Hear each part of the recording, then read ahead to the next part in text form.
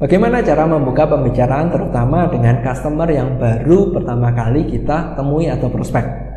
Pertanyaan ini muncul kepada saya dari salah seorang tim saya yang sedang belajar untuk menjadi sales. Ya, dia memang belum pernah menjadi sales dan dia tidak punya pengalaman sama sekali, tapi dia mempunyai tekad yang besar. Dia pun mencoba menghampiri customer, mencoba mengkontak beberapa customer, tapi selalu mengalami kegagalan di tahap-tahap awal ketika dia membuka pembicaraan. Sehingga akhirnya dia pun datang pada saya dan bertanya, Pak, bagaimana sih cara membuka pembicaraan yang tepat supaya tidak selalu ditolak oleh customer? Ada tiga hal yang wajib kita ingat untuk memulai pembicaraan dengan customer, terutama untuk mereka yang baru pertama kali kita prospek.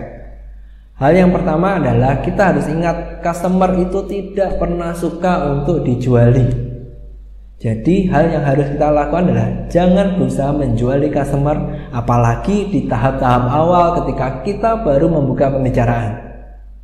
Hal yang kedua adalah tahap awal pembukaan pembicaraan baik itu via telepon atau via online ataupun ketemu langsung dengan customer adalah mengkualifikasi mereka, bukan menjuali mereka.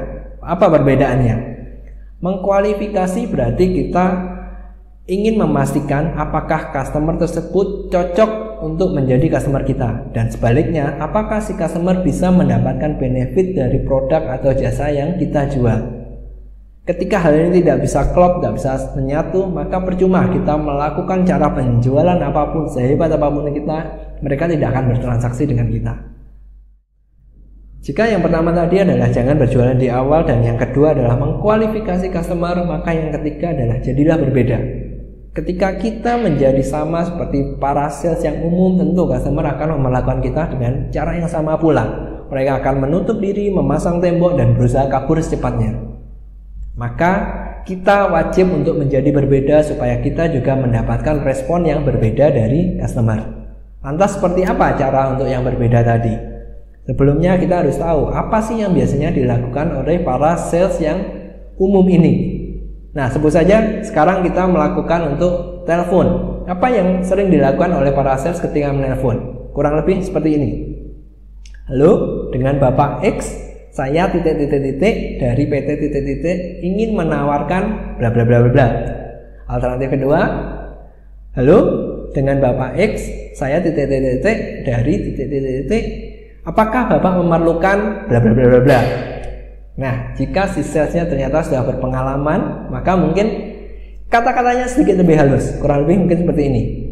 Halo, dengan Bapak X, saya dari titik-titik-titik, saya ingin menyampaikan informasi tentang Nah, dari ketiga contoh tadi apa yang Anda rasakan?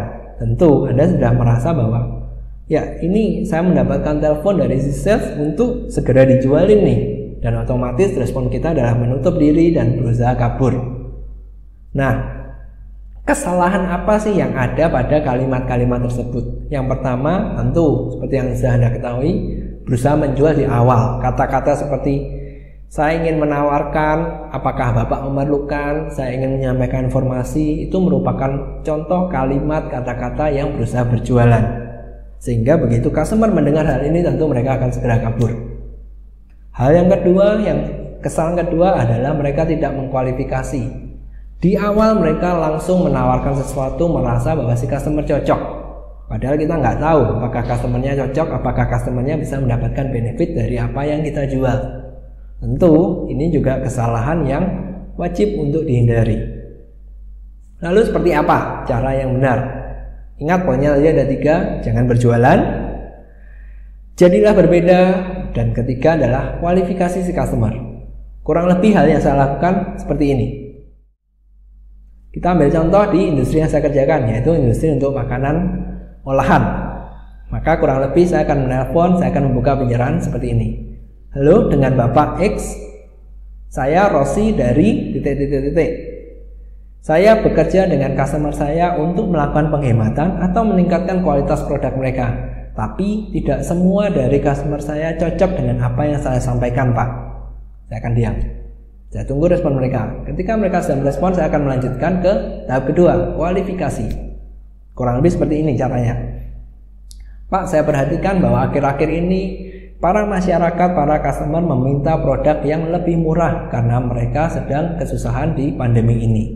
Dan dari ini banyak pabrik-pabrik untuk berlomba menurunkan harga mereka atau melakukan promo supaya customer tetap membeli. Apakah hal ini terjadi di tempat Bapak? Saya akan kembali diam, saya menunggu responnya. Nah, contoh seperti ini tahap satu, saya membuka omongan dengan cara tidak melakukan penjualan, tapi hanya ingin mengkualifikasi. Dan tahap kedua, kualifikasinya benar-benar terasa karena saya memastikan apakah dia memiliki masalah yang bisa saya selesaikan atau tidak. Ketika si customer tidak memiliki masalah yang bisa saya selesaikan, maka percuma saya meneruskannya karena itu hanya membuang waktu dan saya akan beralih ke tempat yang lain. Nah, contoh seperti ini tadi yang saya gunakan untuk menjadikan pembeda. Yang pertama, saya tidak melakukan penjualan di awal, saya tidak berusaha menjual. Yang kedua, saya melakukan kualifikasi, saya memastikan apakah beliau, apakah orang yang saya telepon memiliki masalah yang bisa saya selesaikan. Ingat, sales bukan tujuannya berjualan, tapi menyelesaikan masalah customer. Dan hal yang saya lakukan tadi tentu berbeda dengan sales yang pada umumnya. Nah, sekarang Pertanyaan saya adalah bagaimana Anda mengcreate suatu perkataan, mengcreate suatu kalimat sehingga Anda bisa menerapkan tiga hal ini. Jangan berjualan, kualifikasi customer, dan jadilah berbeda. Hai, nama saya Rosi, saya seorang business leader dan jika Anda menyukai apa yang saya sampaikan hari ini, please tidaknya Anda share ke teman Anda, ke tim Anda yang seorang sales, terutama mereka yang baru, supaya mereka bisa mendapatkan hal yang lebih mereka bisa mendapatkan ilmu dan closing mereka pun juga menjadi lebih baik. Dan akhir kata, sampai jumpa di catatan saya yang selanjutnya.